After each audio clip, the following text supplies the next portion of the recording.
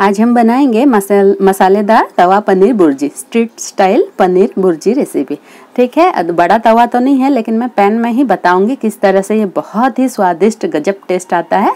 तो देखिए, मैं किस तरह से ये बना रही हूँ। तो यहाँ पर मैं इस पैन बैठा दी हूँ। अब बड़ा तवा होगा तो वो भी ले लेना।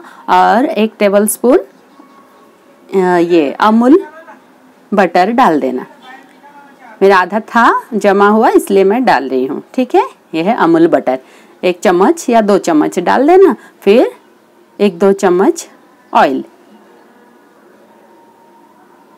अगर आपको पसंद नहीं है तो बटर स्किप कर देना। सिर्फ़ ऑयल डालकर ही कर सकते हो। तो यहाँ पर मैंने तीन मीडियम साइज़ के ऑनियन को ऐसे बारीक बारीक काट लिया था और आधा कैप्सिकम को काट ली थी। दोनों में मिक्स करके डाल रही हूँ और इसे बस थोड़ी देर ऐसे इसी में ही सॉटे करेंगे। उसी में ही एक दो हरी मिर्च तीखा वाला हो तो आप डाल देना, मैं बिना तीखा वाला डाली हूँ। तीन हरी मिर्च, ठीक है? तो ये सब डालकर पूरा सॉफ्ट होने तक दो तीन मिनट इसको मीडियम फ्लेम में मैं भून रही हूँ। स्ट्रीट स्टाइल में क्या बड़ा तवा बैठा देते हैं और इसमें इस तरह पूरा फैलाकर सब पकाते रहते हैं। और हमारे घर पे तो इतना बड़ा तवा नहीं रहता है तो मैं ये पेन में ही आपको बता रही हूँ। तो इस तरह देखिए, पूरा मैं भी इस किनारे से साइड कर दी हूँ ताकि ये ऑनियन और कैप्सिकम पकता रहेगा और बीच में पूरा एक चम्मच होगा अदरक और लहसन को ऐसे ग्रेट करके मैं डाल दी हूँ टोटल। इक्वल ले लेना, अदरक और लहसन। जैसे पाँच सात लहसन ले लोगे तो आधा इंच अदरक ले लेना। और इसी को सबको ग्रेट कर देना, नहीं तो आप पेस्ट भी डाल सकते हो। ठीक है? तो इस तरह मैंने ग्रेट करके डाल दिया है अदरक लहसन को भी, और सभी को अच्छे से पूरा मिक्स करके भी मैं फ्राई कर रही हूँ। एकदम मस्त लगता है, आप बना कर देखिएगा। तो सारा इस तरह पूरा हल्का ब्राउन ऐसे हो चुका है। ऑनियन और अदरक लहसन और कैप्सिकम भी पूरा जब भुन जाएगा, हल्का ब्राउन हो जाएगा तो हम एक टमाटर डाल देंगे। आप दो टमाटर भी डाल सकते हो और इसे भी पूरा सॉफ्ट होने तक हमें ढककर इसे पकाना है दो तीन मिनट। जितना हम इसे अच्छे से फ्राई करेंगे ना उतना बुर्जी बहुत टेस्ट होगा, बहुत टेस्टी लगेगी। तो इस तरह पूरा भी फ्राई करके से मतलब भूनते रहेंगे अच्छे से सॉफ्ट होने तक टमाटर। टमाटर आप ज़्यादा भी ले सकते हो। मैं दो टमाटर ली हूँ छोटे छोटे तब इसी टाइम हम हल्दी पाउडर डाल देंगे ताकि कलर अच्छा है आधा चम्मच में हल्दी पाउडर डाली हूँ और एक टेबल स्पून लाल मिर्च पाउडर डाली हूँ बिना तीखा वाला, कश्मीरी लाल मिर्च पाउडर और थोड़े से धनिया पत्ता। एक टेबल स्पून धनिया पत्ता, देसी धनिया पत्ता।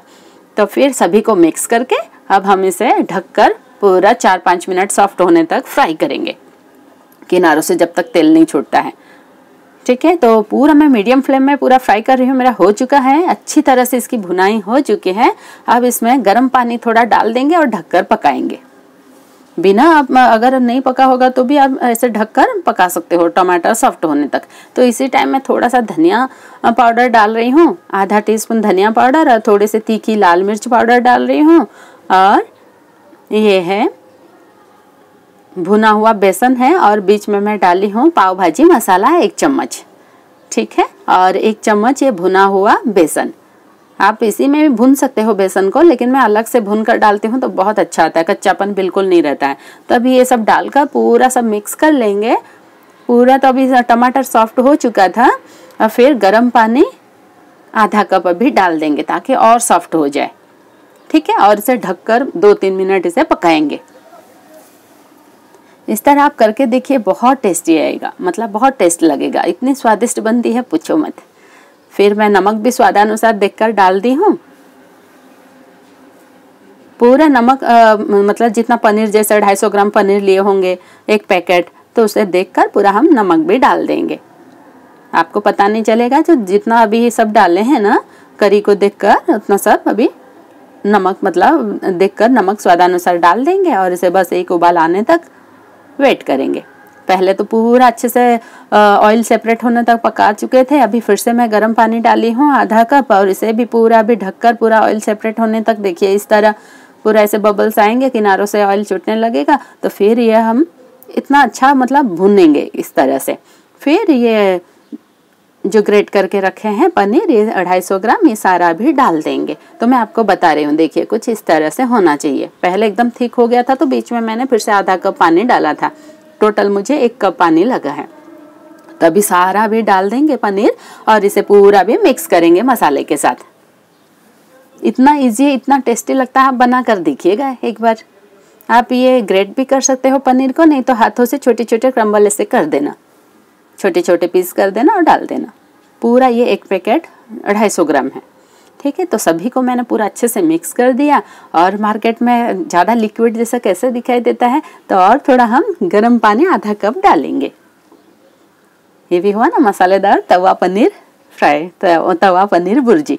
क्योंकि घर पे तो इतना बड़ा नहीं रहता है तो इसी पैन में मैं आपको करके बताई हूँ कि इसी तरह स्ट्रीट स्टाइल में करते हैं। तो आधा कप गर्म पानी मैंने फिर से डाला है स्किप हो गया। तो इस तरह आप ऐसे लिक्विड टाइप का बना सकते हो। ठीक है, बहुत ही टेस्टी लगेगी, आप बना कर देखना। तो देखिए, पूरा ये उबाल हो चुका है। अब लास्ट में फाइनल मैं Kitchen King masala Everest Kitchen King masala एक चम्मच डाल दी हूँ, बस और कुछ नहीं डालना है। फिर थोड़ा सा धनिया पत्ता होगा, वो अभी लास्ट में डाल देंगे। तो एक बार सभी को मैं मिक्स कर रही हूँ और दो मिनट पूरा अच्छे से पका लूँगी। बस इतना ही क्वांटिटी का, इतना ही थिक चाहिए। देखिए, किस तरह से पूरा हो गया है ना? दो मिनट ऐसे ढककर पका दोगे तो इतना ही लिक्विड वाला होना चाहिए, पनीर भुर्जी तो अभी मैं सर्व कर रही हूँ। ये बहुत ही टेस्टी लगती है, आप एक बार बना कर देखिएगा। तो आधा मैं इसमें सर्व कर रही हूँ। आपको भी घर के जितने मेंबर को देना है सर्व कर दीजिए और दो तीन चम्मच कढ़ाई में मतलब तवे में रख दीजिए, ताकि हम, अब मैं अभी दूसरे उसमें भी निकालूँगी वाटी में, क्योंकि भी ज़्यादा ये हो जाएगा तो दो तीन चम्मच हम तवे में रखेंगे ताकि ये पाव है ना, पाव को इसी मसाले के साथ स्ट्रीट स्टाइल लोग कैसे करते हैं तो उसी तरह हम ये पाव को भी हम इसमें फ्राई कर लेंगे। तो इस तरह पूरा मसाले से लोटपोट होना चाहिए पाव। अगर आपको और कम लगेगा तो और एक टेबल स्पून आप इसमें अगर आपको पसंद है ज़्यादा बटर तो बटर डाल देना, नहीं तो तेल डालकर भी कर सकते हो। मैंने एक चम्मच बटर डाला है, मेरे बच्चों को ज़्यादा पसंद है। और इसी में मेल्ट कर दी हाँ और इसमें अलट पलट कर, ये पाव को अच्छी तरह से मसालों के साथ पूरा फ्राई कर लेंगे, बस सर्व करेंगे। गर्मा गर्म ये पनीर भुर्जी स्ट्रीट स्टाइल आप घर पर खाइए।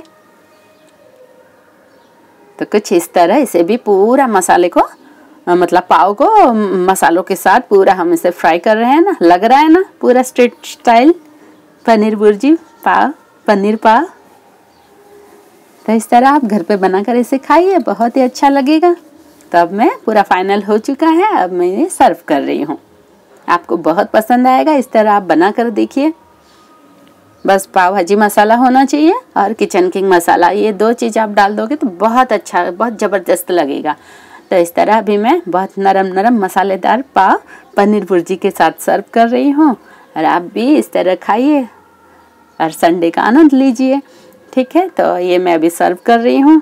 अगर पसंद आए तो लाइक करिए शेयर करिए और कमेंट करिए। और बेल आइकन को प्रेस कर देना ताकि मेरा नेक्स्ट वीडियो आप तक तुरंत पहुँच जाए उसका नोटिफिकेशन ठीक है फ्रेंड्स और ऊपर वो आइकन बटन बटन को भी ऐसे प्रेस कर देना तो मेरा नेक्स्ट वीडियो आपको मालूम पड़ जाएगा।